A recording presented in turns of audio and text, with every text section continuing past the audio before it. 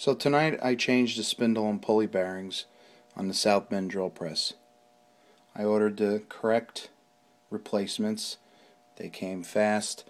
These things came right out. Couldn't have gone smoother.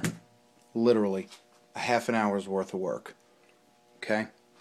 Pressed them back in with the with the arbor press, seated down perfectly, screwed everything down perfectly, snugged it all up, and I started to run some tests and listen to this.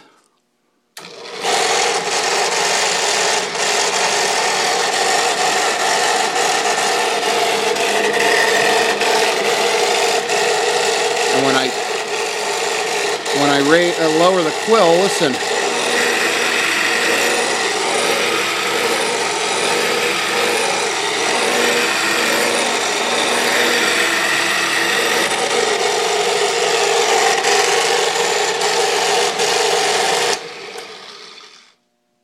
Any help would be greatly appreciated.